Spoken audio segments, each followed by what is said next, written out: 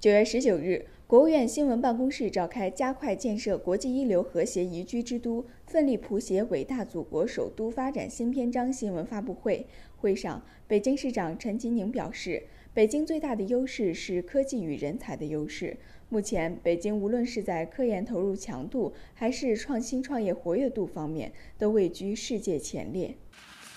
北京的研发投入强度达到了百分之六点一七。啊，远超过创新型国家和地区百分之二点五的水平。我们每天啊新产生两百多家创新型企业，创业投资金额和案例数都占全国百分之三十左右。大家如果看科技创新的 VC 和 PE 投资化，全球的城市，北京仅次于硅谷。那么从创新活力上来看，北京也是当之无愧的全球创新创业最活跃的城市。陈金宁介绍，过去五年，北京深入推进京津冀协同发展，已在交通、产业等方面取得显著成效。京津冀地区正在成为引领国家高质量发展的重要动力源。京津冀的交通、生态和产业三个重点领域呢，实现了率先的突破，环首都半小时通勤圈。覆盖区域逐步增加，轨道上的京津冀正在形成。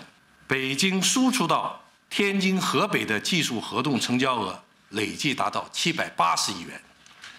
北京企业到经济投资的应缴出资额累计已经超过了七千亿元，辐射带动效应呢逐步呈现。陈吉宁说。新中国成立七十年来，北京的国际地位和影响力也有了空前提高。不仅将成为世界上唯一的双奥之城，还将进入航空交通双枢纽时代。这个大家都知道，北京呢，呃，马上要举办冬奥会。那么届时呢，北京将成为国际上唯一举办过夏季和冬季奥运会的双奥之城。北京全面。开放水平在这个过程之中呢，也大幅度的提高。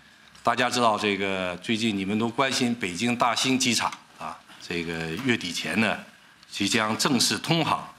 届时呢，北京将进入航空交通的双枢纽时代。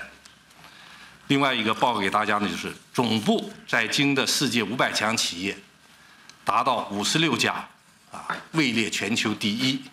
陈金宁还介绍。七十年来，北京居民人均可支配收入从二百元左右提高到六点二万元，消费支出百倍增长，人均期望寿命由五十二点八岁提高到八十二点二岁。在居住环境方面，北京作为世界上治安最好的城市之一，社会保持和谐稳定，社会保障体系不断完善。未来，北京将继续向建设国际一流和宜居之都的目标稳步迈进。更多精彩尽在中国新闻网客户端。